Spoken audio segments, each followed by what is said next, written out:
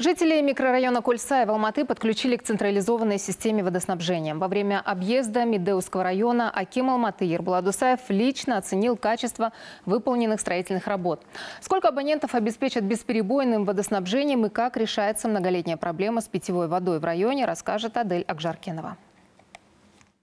Жилом массиве, присоединенном в 2014 году к Алматы, отсутствовали инженерные сети. Чтобы обеспечить микрорайон питьевой водой, по поручению Акима города Гербулата Дусаева построили магистральную водопроводную сеть, которую соединили с водозаборной станцией «Балхаш». Было построено пять резервуаров и три скважины мощностью более 7 тысяч кубических метров в сутки.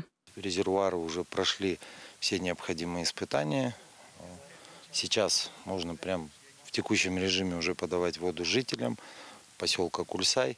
Особенность этого резервуара, если вы обратите внимание, это расположение на возвышенности. Подъем воды осуществляется на высоту 100-109 метров. Теперь центральными коммуникациями охвачено более двух тысяч жителей микрорайона Кольсай. Кроме этого, данная магистраль будет обеспечивать бесперебойным водоснабжением и жилой массив «Юбилейный», где проживает около четырех тысяч человек. Как отметил Аким Ербулат Досаев, глава государства уделяет особое внимание водоснабжению и водоотведению города Алматы. Поэтому по поручению президента в Акимате намерены обеспечить стопроцентный охват питьевой водой, особенно в верхней части города, в Медеуском и Бастандыкском районах, где расположены присоединенные территории, которые до долгое время оставались вне внимания. Мы не только раскинули сети, но, если вы заметите, смысл дополнительные насосные станции, резервуары для того, чтобы надежное и стабильное водоснабжение обеспечить.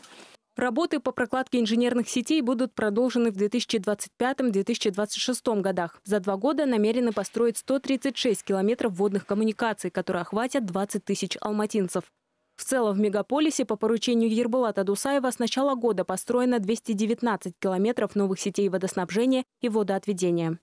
Аделя Жаркенова, Ернат Булатбек, Ялкунжана Шумжанов, телеканал Алматта.